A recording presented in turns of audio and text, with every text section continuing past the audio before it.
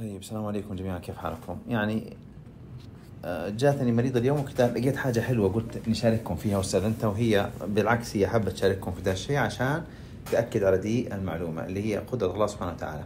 طبعا هي جاتني قبل سنتين ونص وكانت عندها أطفال الحمد لله بس كانت متأخرة شوية وكان في مشاكل مهمة تكلمنا فيها واتفقنا نسوي أنابيب وسوت أنابيب وطلعت واحدة بيضة واحدة بيضة وحتى حتى آه وقعناها على ورقة حقت سحب البويضة واحدة قلنا لها إنه واحدة بويضة. مو واحدة بويضة نقول لها واحدة واحد جريب. واحد جريب يعني ممكن جوته بويضة ممكن ما في جوته بويضة. يعني كان ممكن يسحب لها ويطلع ما في جوته بويضة.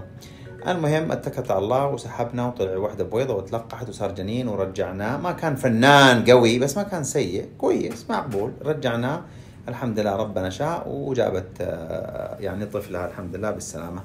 وطبعا هي الآن جاتني هنا القصة الآن جاتني هي حامل حمل طبيعي الله يتمم لها على خير. فهي الآن جاتني هنا بحمل طبيعي الله يتمم لها على خير. بس إنه إحنا بنقول آه يعني خلينا نقول لكم كذا كذا نقطة من ذا الموضوع. آه هذا يعني طبعا كلنا عارفين ذا الشيء بس حلو لما نشوف ذي الأشياء ونؤمن ونتأكد ونجزم ونعرف إنه الحمد لله بيد الله سبحانه وتعالى.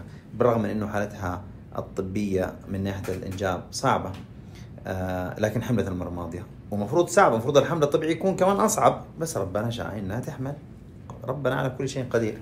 فدائما نقول للناس تعلقوا بالله لا تعلقوا بالأجنة ولا تعلقوا بجودة الأجنة ولا بعددها. تعلقوا بالله سبحانه وتعالى.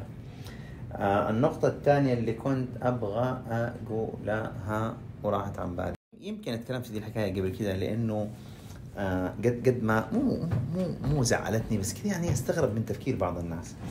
آه واحد ارسل لي على ال على ال على الإنستغرام قال لي يا دكتور جيتك وقلت لي مرتي ما تحمل وشوفها دحين حامل وبما معنى العبارة وسحاجك أمام الله يوم القيامة طبعا إيش قلت له أنا؟ أظن قلت الحكاية دي قبل كذا إيش قلت له؟ تعرفها؟ ولا شيء block و delete block و delete لأنه العقلية دي أصلا ما تناقش معها. لأنه مو الشيء أول شيء أنا ما أقول للناس ما تحملوا. أنا أنا أنا بشر عبد فقير ضعيف. آه آه فأنا أنا ما أقدر أقول للناس ما تحملوا هذا قضاء الله ما أعرف. أنا يمكن قلت له نسبة حملكم للحمل الطبيعي ضعيفة. ضعيفة لا تعني صفر ضعيفة قد تعني أقل من واحد أقل من واحد في المية. يعني قد تكون واحد في الألف لكن ما في شيء اسمه صفر. وهذا إحنا ما بنتكلم على يعني قدرة الله. قدرة الله إن شاء الله واحد في العشرة مليار حيصير لو ربنا شاء. أنا بتكلم من ناحية علمية. ما في واحد اسمه صفر. طول ما ينتج حملة منوية هي تنتج بيضات ويسوي ذاك الشيء ممكن يخلفه. ما في لعب.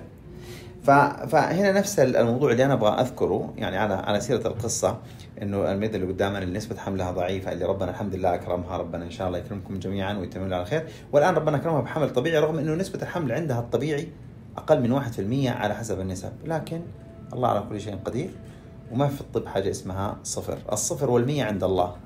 البشر عندهم من فوق الصفر ومن تحت المية. الصفر والمية دي هي كل احتمالات اللي عند البشر أما الله هو اللي عنده الصفر والمية هو اللي كن فيكون. ويعطيكم العافية. قلت بس أشارككم هذه المعلومة وشكرا لها أنه أنه وافقت آه نشارككم دي المعلومة.